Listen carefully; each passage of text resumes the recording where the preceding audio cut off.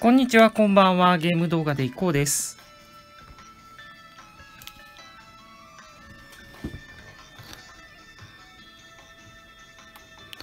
サッカークラブ育成シミュレーション、えーカルチョビット R を始めていきたいと思います。今、えービデオ編集しながらですね、プレイしております。ここマルチタスクになっております。えー今回はですね、首位、リマッセ大阪です。えーいよいよやってきました。えー結構前半の命運をかける一戦となります。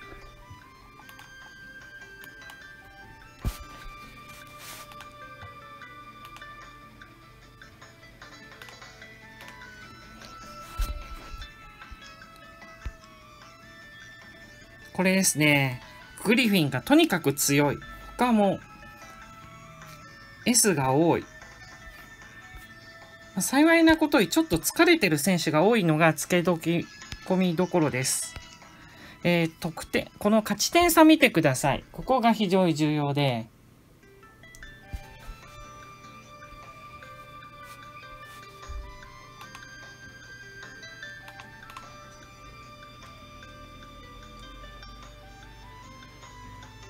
負けられない一戦ですね。これから見ても。え今7戦やってるんですが、あのえーはクランカリバーズは3勝1敗3引き分け。一方、リマッセ大大阪は負けがなく6、えー1の引き分け、他は全部勝ちの6勝。えー勝ち点がリマッセ大阪19点、クランカリバーズ12点と7点差を、大差をつけられております。2位までならまだチャンスあるんですけど、1位がね、とにかく、あの、2試合以上の、2ゲーム差以上つけられてる感じです。サッカーですからね、得失点差も全然違うし、かなり強烈な壁になっていることは明白です。これが、ゴールランキング。エルドアード、欧州強いですね。えー、メンソーレ、那覇の、マノも5点ですが、この2人がトップですね。ミランコ、マノ。えー緑とくるみはともに4点ずつ、えー3位グループにつけております。うん。アシストは？アシストは、ミランコ、赤、北原。北原の、これ見て、北原無敵のアシストも気をつけないといけないですね。まあ、総力が高い。こちら、さつきですね、トップは。月幸子7個。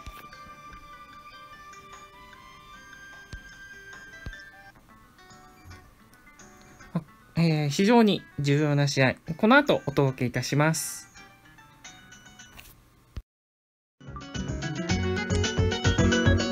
はい。では、公式戦行きましょう。ななみが疲れてますね。これはいたらいけない。ここへ来て。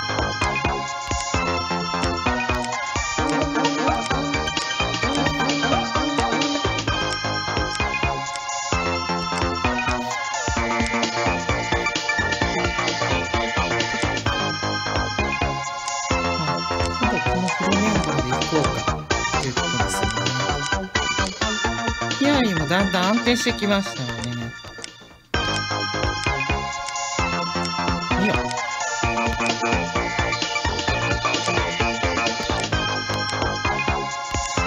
無敵北原、この2人で攻めるのか。となると、まあ、堤も警戒しないといけないですけどね。2人でなんかもう攻めながらパス回しやってる感じがするよね。はい、というわけでこちらがホームですね。なのでわずかに勝率を上回ってるんですよね。非常に重要な試合となります。リマッセ大阪戦です。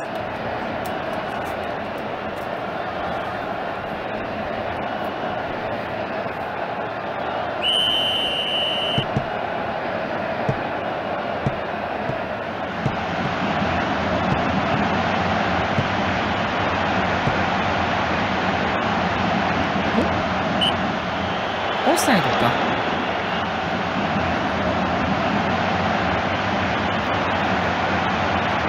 したね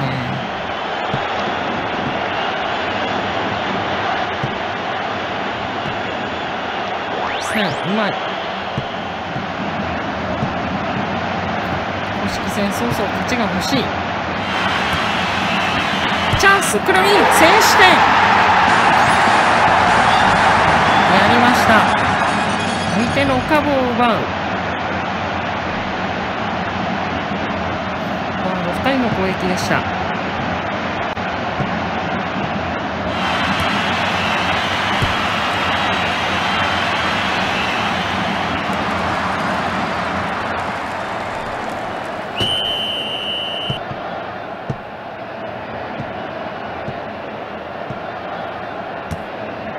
早くも。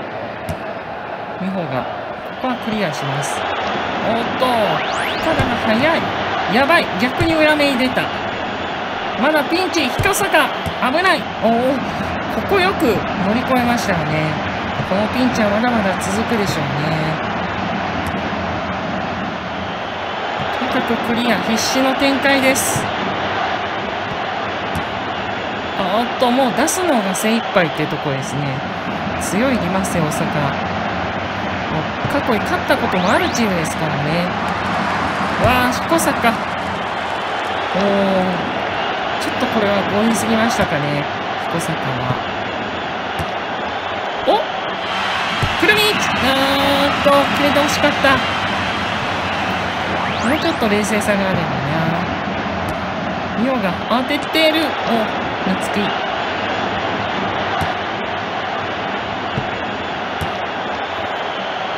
展開が早い。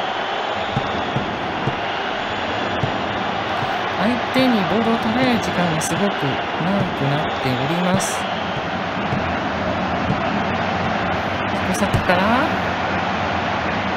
うまいブロックでした。早くも今瀬大阪交代ですね。先に動きましたね、今瀬大阪。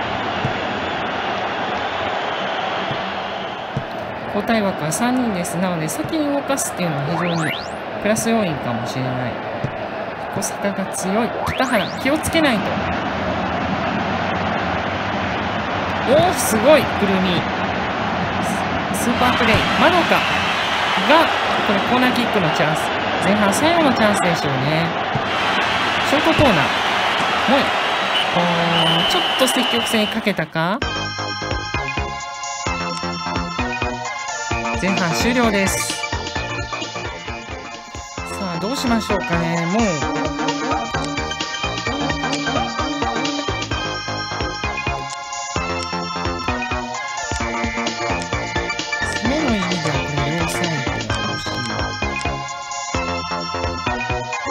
ですよね。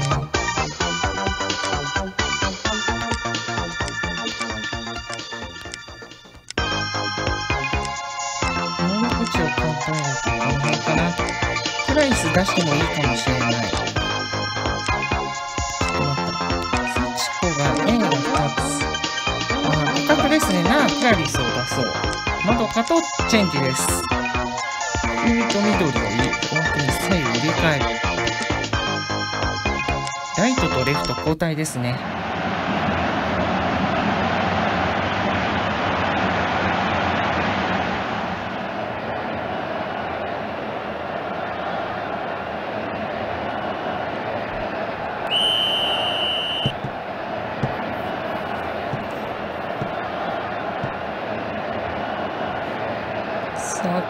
作戦を取ります。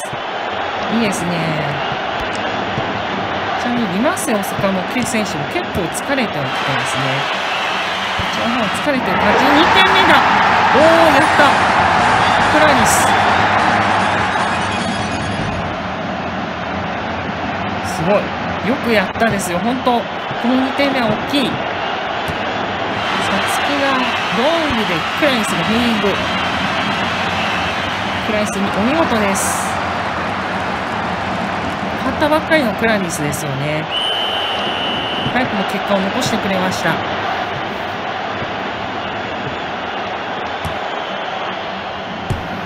おお危な。さあ前半はもう10分以上経過しております。オフサイドか。みんな、結構、オフサイドトラップに引っかかってる感じですね。深いところで守ってると、ノーホイッスル。ラインでしょあの守ってますよね。ライン防御。うまく縦パスでやっぱり切り抜けたいですね。我がチームの見送って縦パスとか入ってくるパスです。すごいな、この小田切。もちろん疲れが溜まってしまいます。前半の20分経過。危ない。急に、捉えてしまった。堤。前へ。これはパンチング。落ち着いて、あの時間を消費したいところです。こまで来たら勝ちたいですよね。え、オフサイドか。結構相手オフサイドトラップ仕掛けてきますよね。トラップってわけじゃなくて前に出過ぎなく、相手がもう完全な攻撃的布陣になってる感じですよね。もう、ほとんどゴール前に2人いますからね。残りもう10分少々です。気がつけば。さあここからの攻撃は気をつけないとあーっと反則取られてしまったペナルティーキックはい入れられてしまいました。1点差。気をつけないと。北原。ですね。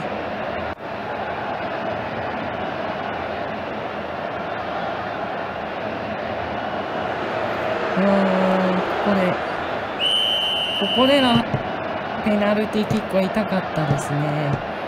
当然一気にさあの攻めてきます。ああ、残念。もうちょっとだったんですね。ゲルハルトも結構疲れてきてるぞ。あーっと、裏目に出た。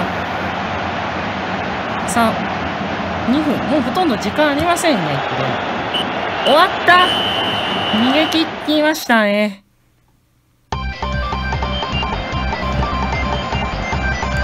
先制点はクランキャリバーズ。前半10分。これはもう、我がチームの理想的な形態ということですね。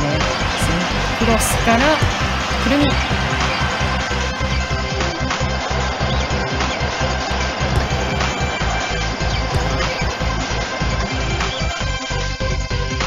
相手、ここら辺の時間帯、相手の攻めがすごくきつかった。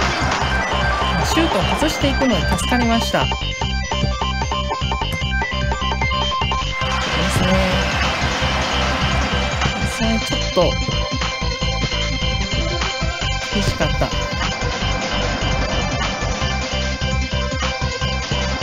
リーンのスーパープレイですね、ここは。そうこれが大きかったと思います個人的にはクラリスのヘディングの追加点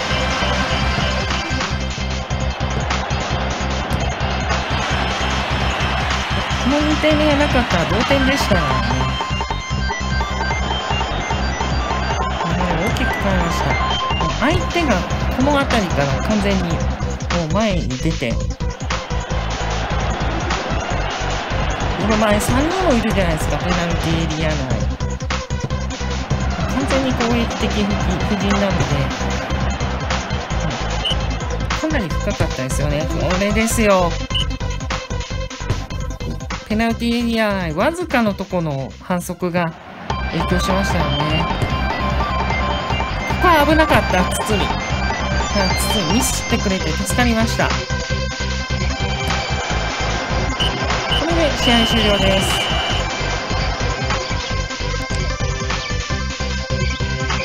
岩瀬大阪シュートは13本、枠内7本ですからね。ボール支配率も完全に内容では負けている感じではありますが、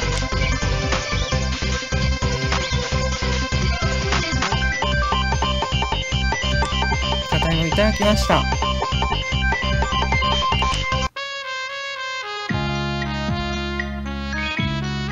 対1で勝利です。ですね。これで4位ですね、現在は。そして首位リマッセ大阪との勝ち点差は7から4に縮まりました。直接対決の勝利は大きいかもしれないですね。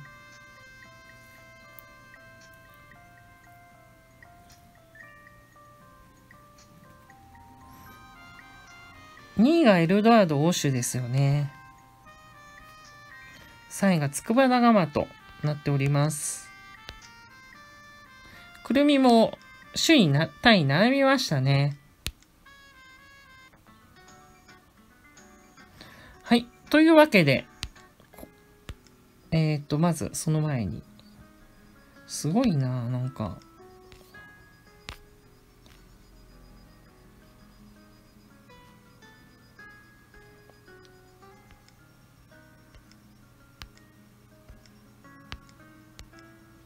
たくさん選手が出て、マノが市場に出てます。これすごいですね、マノの能力は。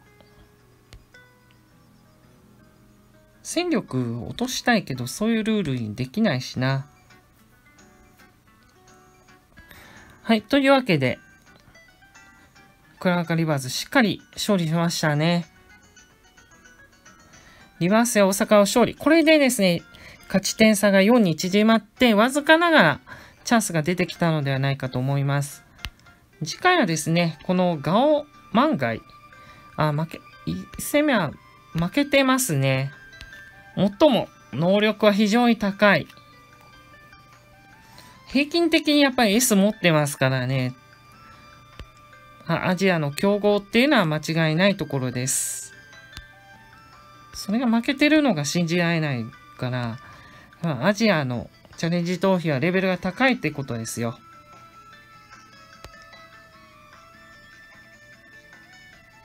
もうカルメンって選手がいるのか。あ、いや、カルメン我がチームが取ったチームか。はい。というわけで、